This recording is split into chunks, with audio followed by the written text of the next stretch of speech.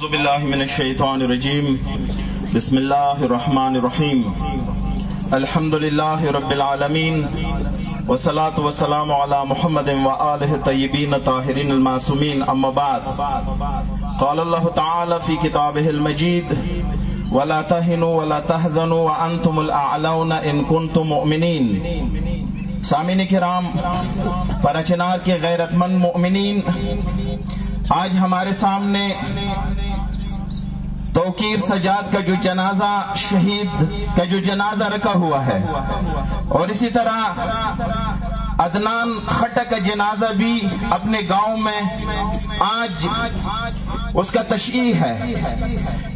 ये दोनों शहीद के जनाजे, दर हकीकत हमारे मुमलिकत पाकिस्तान के उहदों पर बैठे हुए जिम्मेदारान की नाअहली का जनाजा है। ये ठीक है, ये हमारे शहीद है। हम शहादत पे फख्र करते हैं। लेकिन मैं अपने हुक्मरानों से पूछता हूँ, अपने वज़ीर आज़म से पूछता हूँ। मैं आर्मी चीफ से पूछता हूँ। मैं डीजी आईएसआई से पूछता हूँ। मैं तमाम, मैं पाकिस्तान और केपीके के वज़ीर आज़म से पूछता हूँ। केपीके में जो जिम्मेदारान है, उनसे पूछता हूँ कि हम शहादतों से कभी ना घबराए हैं और ना घबराने वाले कौम है लेकिन यकीन है। अगर आज अखोड़ा खड्डा किया उधर जो जनाजा है और इधर जो शहीद का जनाजा है, याद रखो, ये तुमसे नफरतों के बीज है जो हर दिल में उगी जा रही है। ये तुम्हारी बेहिसी है। मैं पूछना चाहता हूँ अपने सिक्योरिटी इदारों से खसूसन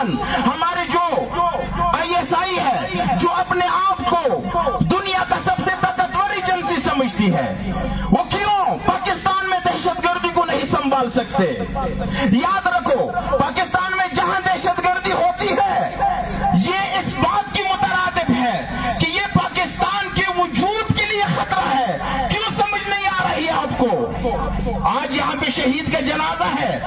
ये तमाम इदारों के नाअहली का जनाजा निकला हुआ है। मैं इधर के इंतजामिया से भी कहना चाहता हूँ। डीसी और इसी तरह ब्रिगेडियर हमारे डीपीओ जितने भी कमांडेंट इनसे भी कहना चाहता हूँ कि अगर चंद महीने पहले, दो महीने पहले पेशावर में जुआ गया हुआ, और जो परचनार के सरजमीन और चारखेल में जुआ गया हुआ, अगर उस पर आप एक्शन लेते, उस पर आप खामोश न रहते।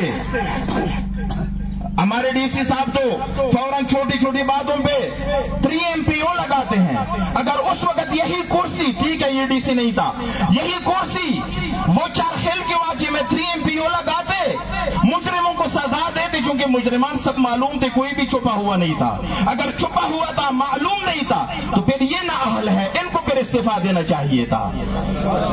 बाहर कैफ, मैं तमाम इदारों से कहता हूँ कि देखो, जितने भी मोमिन यहाँ पर जमा है, जितने भी मुसलमान भाई वो अदनान खट्टक के जनाजे के तशीद जनाजे में चले जा रहे हैं और उसमें शामिल है।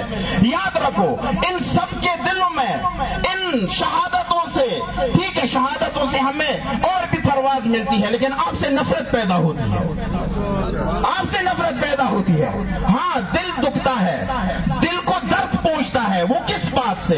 खुदा की कसम, तुम्हारी नाहलियों की वजह से पाकिस्तान को जो नुकसान पहुँचता है, उससे दिल को दर्द पहुँचता है।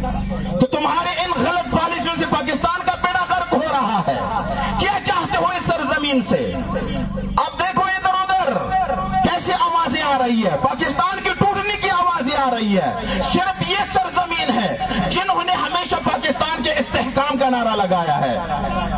आगाज़ से पता का दावा की सोने हुक्मरान सोच लें, इस बात पे खूब गौर करें। नफरत ही नफरत बढ़ती जा रही है। और फिर ये गिला न करना कि क्यों इधर से कुछ आवाज़ें उठने आएगी? फिर जवानों से गिला न करना। फिर यहाँ के गयूर आवाम से गिला न करना। फिर अपने इन कारतूतों को याद रखना जो हमारे साथ हो रहा है। बाहर कैफ, मैं ये भी कहना चाहता हूँ कि जो दहशतगर्द तंजीमें हैं। सऊदी अरब में चंदे जमा हो रहे हैं। कतर में उनकी निशिस्तें हो रही है। मालूम लोग हैं। वीडियो उनकी मौजूद है। मैं उनसे यही कहता हूँ कि अगर तुम मर्द के बच्चे थे तो दो महीने पहले तो आपने मैदानी जंग आपने सजाया था। उस वक्त आप कदर थे।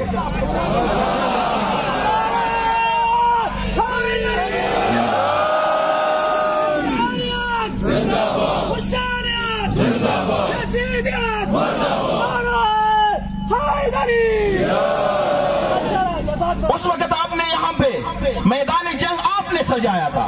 लेकिन हमने बहुत पहले कहा था सजाओगे आप मैदानी जंग खत्म फिर आप नहीं कर सकोगे। खत्म फिर कोई और करेगा।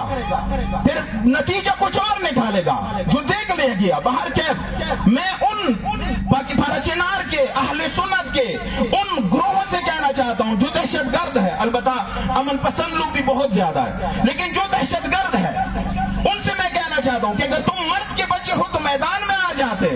रास्तों में, तुम क्यों जहमत करते हो? मैं तो बार बार ये जुमला कहता हूँ। रास्ते में तो एक औरत को भी कालशिन कोप दो। सजा तोकीर के हाथ में कुछ नहीं था। तुम्हारी बहन भी निकल आती, उसको गोली मार सकती थी। तुम्हारी बेटी भी निकल आती, इसको गोली मार सकती थी। ये तो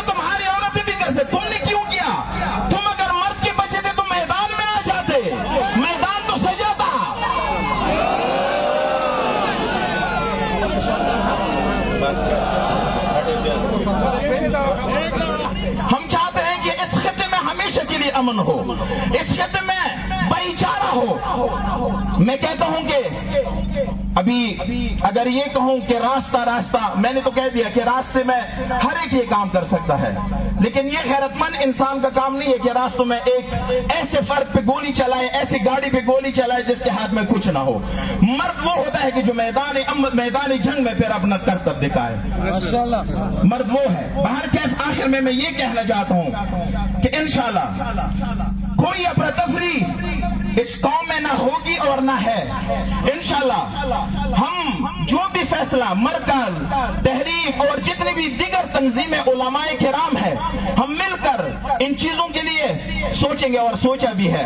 बाहर कैफ लायामल तय पहले भी था और जंग जो मुसलत करनी थी, आप लोगों ने देख लिया। हिकमत अमली का नतीजा आप लोगों ने देख लिया। आगे भी हिकमत अमली से हम बढ़ेंगे। कोई अफरा तफरी नहीं होगी, इंशाल्लाह चूँकि ये एक मुनजम मुनजम कौम है। मैं उधर के जो, जहाँ पे वाक्य हुआ, उधर जो आबाद पराचिनार के रहने वाले हैं, या दीगर जगहों पे जो अहले सुनत रहने वाले मैं उनसे कहना चाहता हूँ कि इस खेल को आगे मत बढ़ाएँ। खुदा की कसम, इस खेल के खिलाड़ी हमसे बेहतर फिर कोई नहीं हो सकता, लेकिन ये खेल हम जायज़ नहीं समझते। इस खेल हम जायज़ नहीं समझते कि हम रास्ते में बेगुनाह लोगों पे वार करें, वरना इस खेल के खिलाड़ी हमसे बेहतर कोई फिर नहीं हो सकता। हम बेहतरीन खेल सकते हैं। मैदानी जंग में भी खेल सकते हैं, आगे भी खेल सकते हैं, लेकिन नहीं चाहते। जिस तरह पहले नहीं चाह, इस तरह अभी नहीं चाहते। क्योंकि हमें फ़िक्र इजाज़त नहीं देता। हमें मज़हब मकतब इजाज़त नहीं देता। मैं इधर के हुक्मरानों से कहता हूँ कि होश के नाखून ले ले। मजीद इन दिलों में जो नफरत पैदा हो रही है, इन नफरतों को मिटाने का वाहिद रास्ता यही है कि इधर भी अमन हो, रास्ते भी अमन हो। यहाँ पर जो लोग रास्तों में कोई इकदाम करते हैं, मैं कहता हूँ कि अहल सुनत को न पकड़े, किसी को भी ना पकड़े। मुजरिम को नहीं पकड़ सकते हो, किसी को भी ना पकड़े। मुजरिम को पकड़ो, अहल सुनत को आम लोगों को ना पकड़ो, बेगुनाह को ना पकड़ो।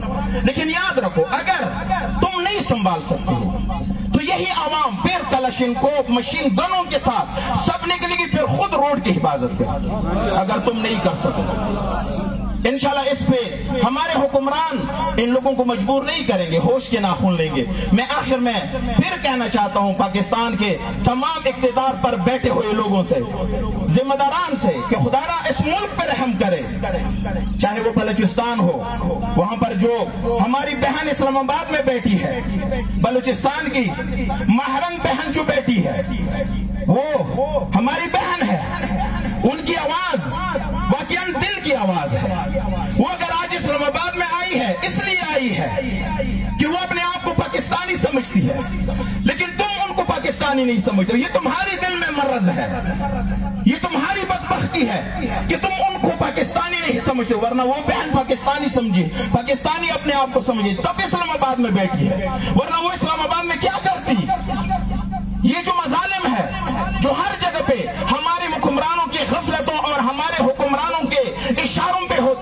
है पाकिस्तान कमज़ोर होता है। मेरे ख्याल में हमारे हुक्मरान होश के नाखून लेंगे। इधर बैठे हुए हुक्मरान टीपीके के हुक्मरान और पाकिस्तान के हुक्मरान, हमें ना आजमाया जाए। हम पहले आजमाए गए हैं और हमने साबित कर दिया। पाकिस्तान के साथ मोहब्बत अपनी जगह पे, लेकिन दुश्मन के साथ मुकाबले से हम कभी ना डरे हैं और ना डरेंगे। वसलाम वरहमत